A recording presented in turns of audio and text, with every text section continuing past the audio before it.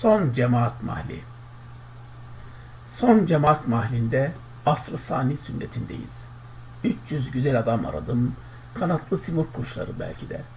Kaf Dağı'nın ardında Nun denizin ötesinde bir elif, elif diye tozan rüzgar, elif diye yazan 300 kalem.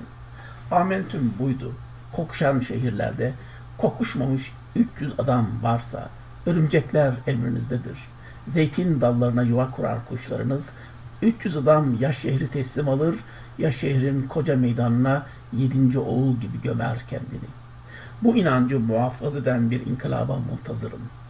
Erken gel ey genç adam, beni evde bulamayabilirsin diyen ses, İlyas'ın sesiydi belki. İmdat diyen yetişen bir hızır. Göğü 300 yıldız süsler ilkin, Tarık kendini belli ederse. Postmodern çağda hikayenin sonunu yazacak olan kaderin kalemi, Bakanı Yüz yukarıdaki cümleleri mişli geçmişin hikayesiyle yazacak olursa, utansın utanacaklar. Aramıştı, ummuştu.